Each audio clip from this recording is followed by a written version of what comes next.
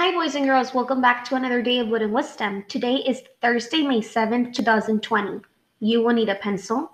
You will need um, your direct vocabulary packet because you're going to be writing inside one of those one of the papers inside there. I'll show you in a little bit, and I also posted a picture of it on next to the video on this post. Okay, so I'm going I'm going to go over your assignment. I'm going to go over your end of module task. You will have today, tomorrow, and this weekend to work on your end of module task. So you are going to use handout 30B to write your end of module task. You did handout 30B last time on Tuesday. That was your exit ticket, and you turned it in under assignments. You are going to use that evidence organizer that you filled in to write your end of module task. So make sure you have it with you.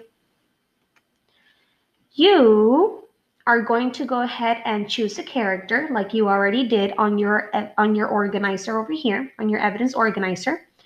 Um, so you are going to choose between or you already chose one. If you want to change it, that's fine. But I suggest you use that chart because you already have all your thoughts written down. All you're going to do is make it into a story.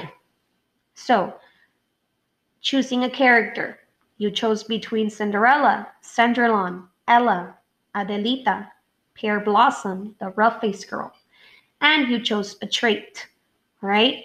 Hardworking, honest, caring, nice, grateful, thankful, okay?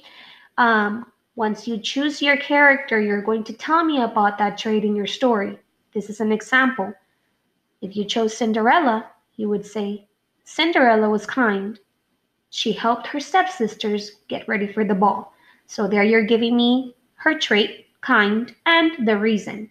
Helped her stepsisters get ready for the ball. That's one example of one sentence with a trait and a reason. So here is your end of module task. Which of the Cinderella characters do you most admire? So on the screen, I have Assessment 29A worksheet, which is your end of module task, where you're going to write your final story for Module 4.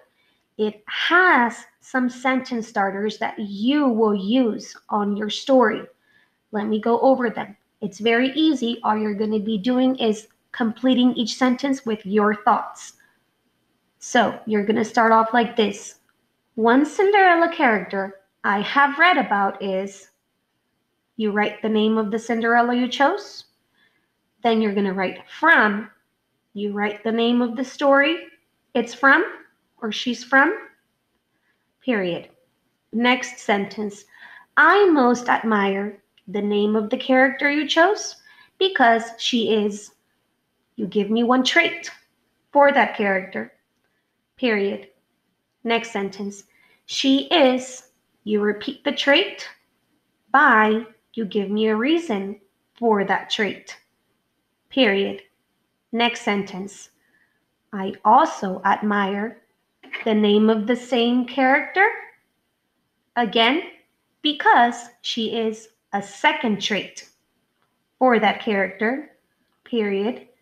She is the trait again by another reason for that other trait.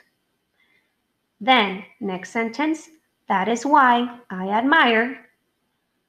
Again, the name of the Cinderella you chose from the name of the story she's from the most, period.